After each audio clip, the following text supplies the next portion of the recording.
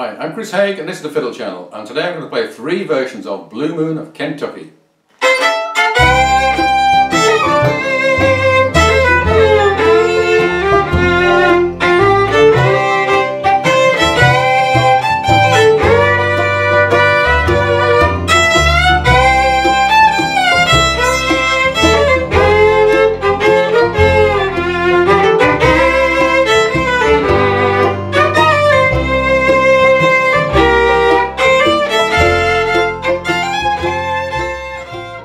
This tune was written by Bill Monroe back in 1945, at the time when he was playing with and Scruggs.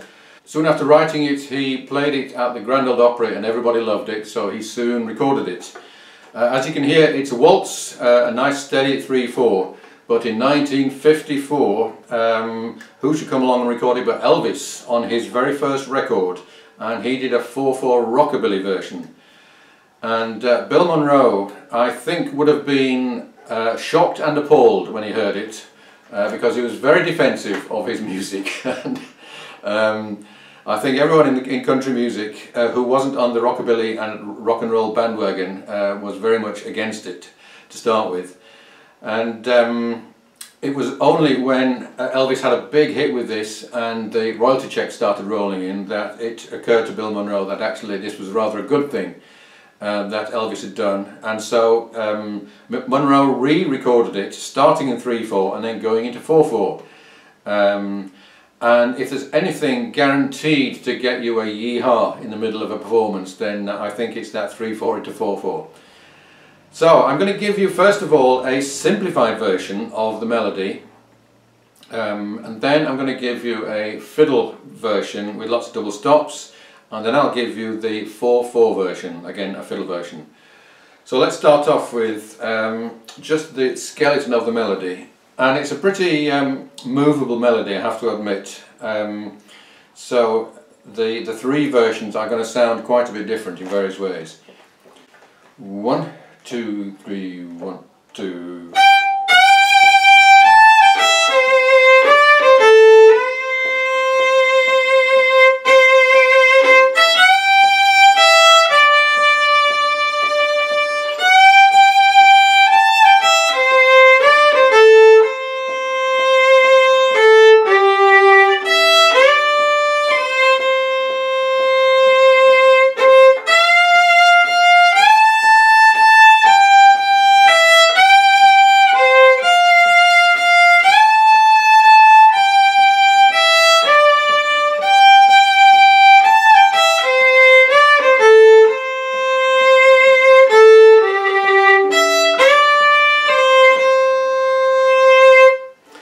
It doesn't sound very much uh, when played like that but uh, you can fairly simply add extra notes to pad out the chords.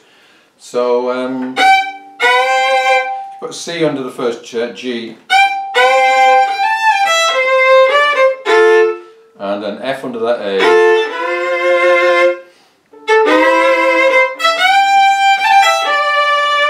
You can put a G under there if you wanted or a G above that.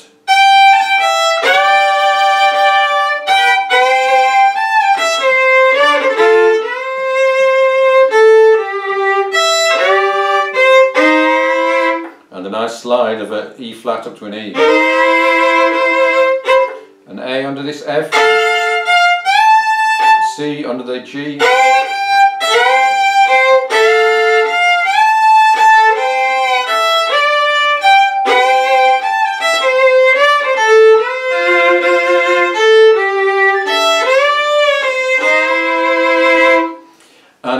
if I do have a video about how to add extra notes to make either two note chords or there's a thing called the scale of sixth which helps you to harmonise a melody as you're going through.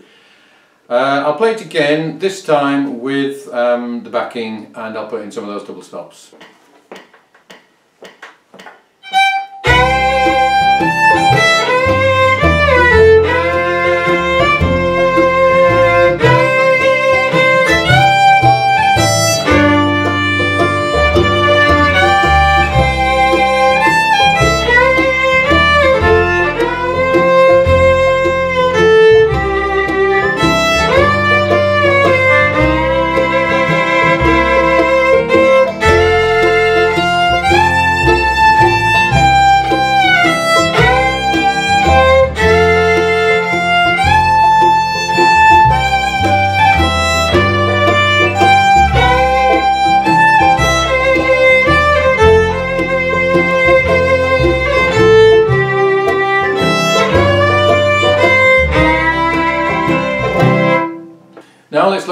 Version, which is more complicated and has some uh, lot of double stops and a bit of tricky second position stuff. Um, and if you find there's some bits in here that you like but some bits that you don't like then you can simply leave out the tricky bits and just refer back to the, the simple version or find just something in between. So we're starting off with a little kick, kick off rather than just like that. So uh, the um, that is how it would be sung, Blue Moon, whereas that is a very fiddly way to start. So we're starting off uh, with a down and two ups and uh, kind of a punch on those two ups and then we've got a C under the G and we're doing a triplet running down uh, a little chromatic run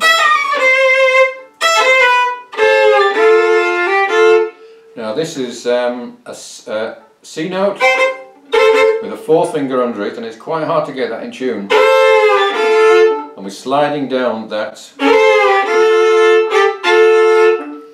Let's just go from the beginning up to there. One two three one two.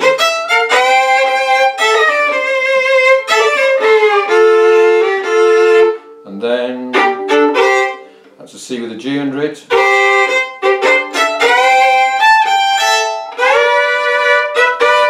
So this is up to third position, first finger, third finger, and we're uh, just putting the second finger on for that note. If you wanted you could put your fourth finger up there as well. Then on to the third line.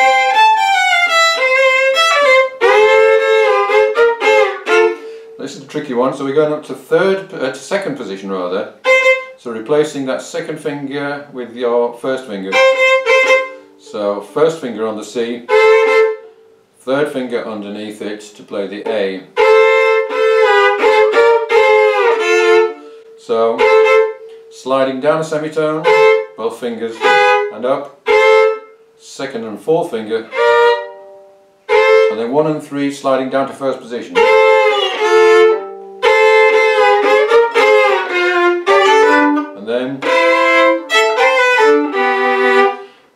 With a B under it and the C is going to a C7 and we're marking that with the flattened 7th which is the B flat with a G under it. Now let's go through those four lines. One, two, three, one, two.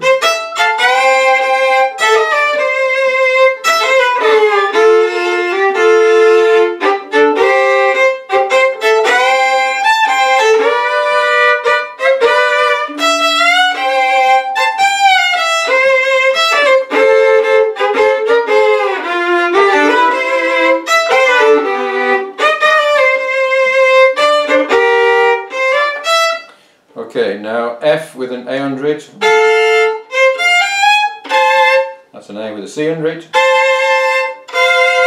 Then the move we did before in second position, we're doing a similar one with the first finger on the G and the third finger on an E.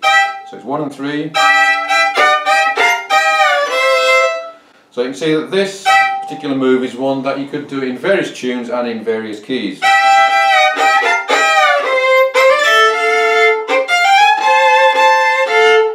Now here's a move from a fourth finger on over the third finger. Slide down.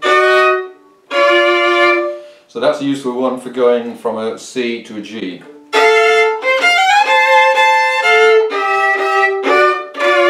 And you might find it easy to do third third position two over one.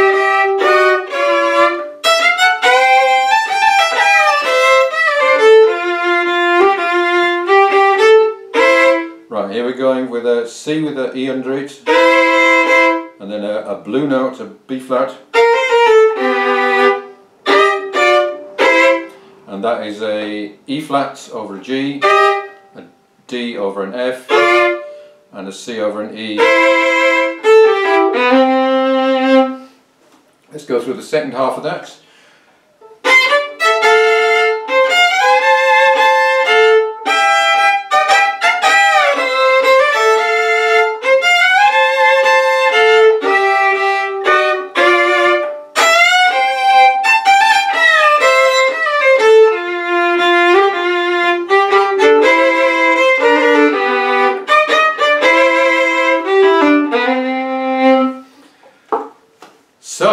All the way through that with the backing.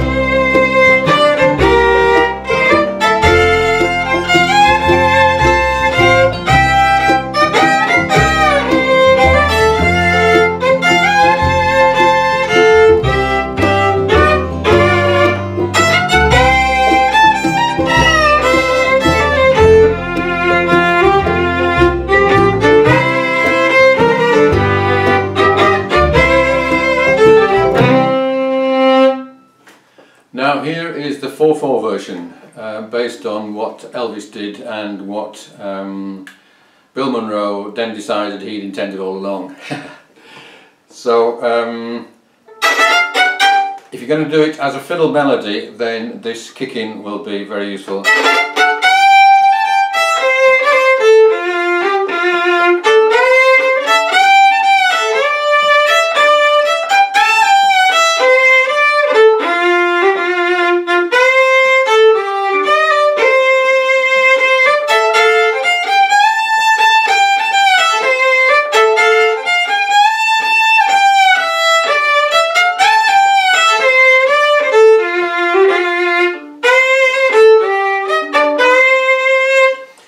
And again, double stops are going to help this. And if you were playing this in a band and, and there's someone singing, then it would be a good idea not to play the full tune, but to do something like this.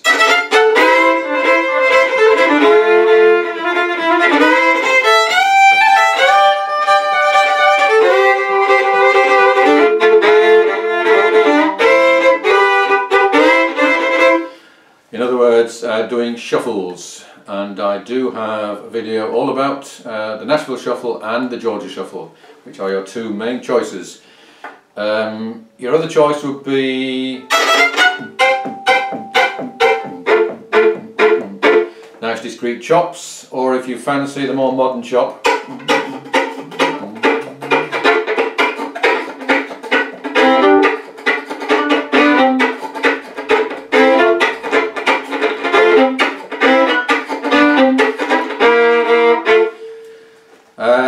let's play through this um, at tempo.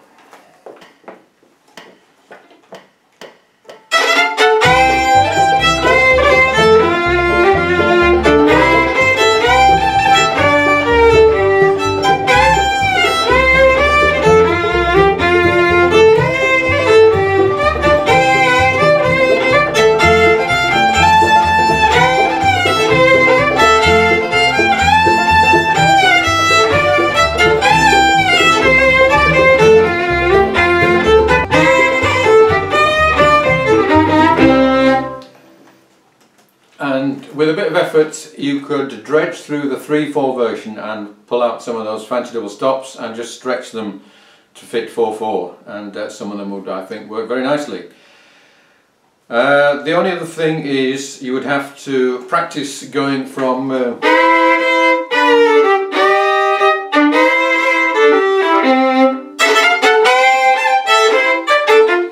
which is how it will change and that's where you get the, the.